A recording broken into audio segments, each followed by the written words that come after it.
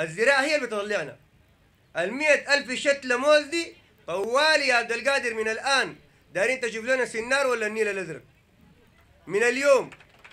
ويا جماعة زول بيتبرع هنا طبعا ما تبرع كلام كلام ما في أنا ما أقدر أتكلم في زول لكن التبرع هنا يا إخواننا بيندفع طوالي ما في كلام. طوالي. أن إحنا من الآن يا عبد القادر طوالي شوف لنا الم... في سنار اول اول اول أول نيل الأزرق إن شاء الله طوالي محلات الموز. عشان نبدأ مشروع للشباب. طيب يا إخواننا أن إحنا. المنظمتين ديل الشيء داير إنه يخدم لنا شريحة الطلاب.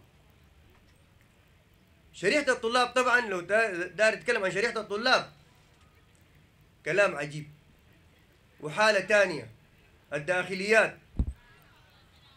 التعليم. يعني حالتهم في في كيف كيف يتعلموا طبعا قريتوا الجامعات وشفتوا حسب حسب ظروف الناس. الناس طبعا ربنا ما سوى الأصابع ما سوى. الناس مختلفة في, في الرزق. ربنا قال فضلوا بعضهم على بعض في الرزق. لكن الناس يا إخوان وخاصة الناس المتعففين.